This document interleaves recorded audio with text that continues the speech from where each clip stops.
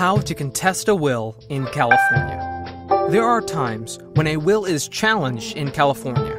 The law is designed to protect you in such circumstances.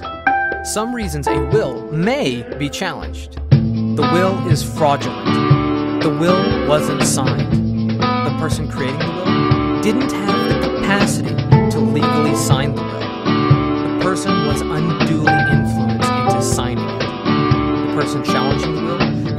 a different personal representative should be chosen.